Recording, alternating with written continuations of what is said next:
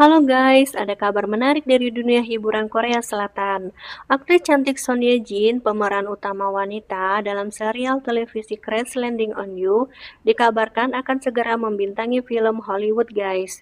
Sebagaimana ditulis Sumpi mengutip Star News, ia akan membintangi film berjudul Cross, di mana perempuan berusia 38 tahun itu bakal menjadi lawan main Sam Worthington yang dikenal lewat film Avatar dan Clash of Titans.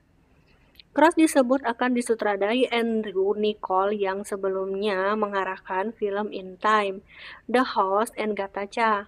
Cross akan mengambil set di masa depan dengan negara multiras yang terbagi dalam dua perbatasan si miskin dan si kaya. Dalam film itu, Son Ye Jin akan berperan sebagai ibu tunggal. Star News menulis Cross akan mulai melakukan syuting pada Maret 2021.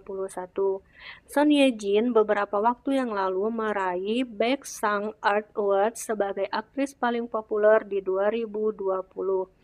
Ia mendapat penghargaan tertinggi di industri hiburan Korea Selatan itu berkat perannya sebagai Yoon Seri, wanita kaya asal Korsel yang jadi pujaan hati Kapten Korut Ri Yung Juk yang diperankan Hyun Bin.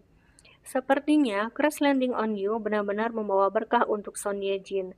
Selain dia semakin populer, dia juga kebanjiran job di mana-mana, bahkan sampai Hollywood.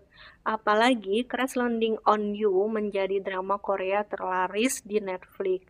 Parasnya yang cantik dan akting yang luar biasa, tak heran kalau sekarang dia jadi rebutan para produser film. Jadi kita tungguin aja ya guys kabar selanjutnya.